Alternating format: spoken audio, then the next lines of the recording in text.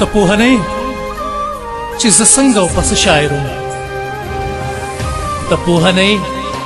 چې زه څنګه او پس شاعر وم ما به نظمونه لیکل ما به غزل لیکو ډیر ښه شاعر وم ما نه اوس هر څوک دغه سوال کوي شاعر نه اوس ما نه اوس هر څوک دغه سوال کوي شاعر نه اوس نه نه هغه یو وخت چې شاعر ما به شعر لیکلو ای ته منې چې دا لګیا یم دا کلام مې آخري نظم دی ای ته منې چې دا لګیا یم دا کلام مې آخري نظم دی دغه چې ولې دا جواب له ما نه هم ورک دی ای زه فنکار وم لفظونه به مې ښه وتراشل اے زه فنکار وم لفظونه به مې ښه وتراشل ما به د زړه هر یوه سلیکه کړه په شعر کې پټه ما به د زړه هر یوه سلیکه کړه په شعر کې پټه ما به دردونه ټول د شعر په اللهو ده کړه د کومې پېغلې د ښایست کیسې چې ما کولې د کومې پیغلې د ښایست قصې چې ما کولې د هغې پیغلې خو خالونه اوس د ګور چینجي خوري د کوم زلمي د مینتوب قصه چې ما چیړله په هغه ځوان اوس سلی جوړ دی او د ګور میلمه دی د مینتوب کیسه یې ځکه شو نیمګړې پاتې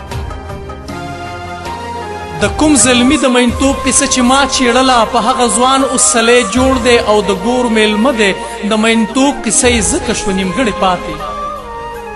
ما چې د کوم شوخ مازیګر قصې هر وخت کولې ما چې د کوم شوخ مازیګر قصې هر وخت کولې په هغه زیړ مازیګري کې اوس د وینو رنګ دی په کوم ګودر چې به د پیغلو بنډارونه جوړو په کوم ګودر چې به د پیغلو بنډارونه جوړو په وینو رنګ دي مات منګي پکې پریمانه ایښي ما چې د کومې مور قربان قربان په شیر ستایلو ما چې د کومې مور قربان قربان په شیر ستایلو څه پکې ګوري شوې او هم پکې ذهني ناروغي ما چې د کوم پلار د شفقت قصه په خوند کوله ما چې د کوم پلار د شفقت قصه په خوند کوله په کټ کې پروت سورې سورې دی او بچی ترې تاو دي ما چې د کوم اتل زلمی ستاینه تل کوله ما چې د کوم اتل زلمی ستاینه تل کوله چا پر د کفر فتور کړه هم د مرګ په جواز سر یې له تنه ترې جدا کړلو بدنامه هم شو د هغې خور زړګی هم مات شو د خپل رور په غم کې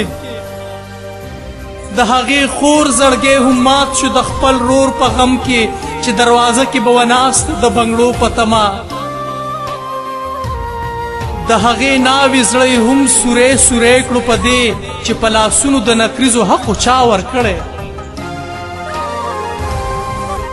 نن جنازه ده په بر کلي کې د هغه مزدور څوک چې سهار وختي د رزق په تلاش کې ورکو په نه ګناه یې خپې لاسونه او هم سترګې بایلې هغه غریب چې په اوږه به یې ټاټکې ګرځو اخبار هم نه راځي بازار ته یو چا داسې ویل اخبار هم نه راځي بازار ته یو چا داسې ویل اخبار والا چا نامعلومه کس په چوک کې مړ کو د خان کاکا په جنازه کې لس کسه هم نه وو د خان کاکا په جنازه کې لس کسه هم نو لدغه یری چې اوس برید په جنازو هم کیږي او هغه فنکار اوس هم ودونو او خادو ته نزي هغه فنکار هم اوس ودونو او خادو ته نزي د نیمې شپې ورته چا خط پرېښی سندرې پرېږده مور مې ویل نه دې بخم زویا ماشومان ملېږه مور مې ویل نه دې بخم زویا ماشومان ملېږه په سترګو ړوند چې اوس په سکول کې ماشومان وژني ماشومان وژني ماشومان وژني بس دی بس دی بس دی نه شعر نه غزل او نه ټپه لیکمه بس دی نه شعر نه غزل او نه ټپه لیکمه که لیکم درد به وي او غم به وي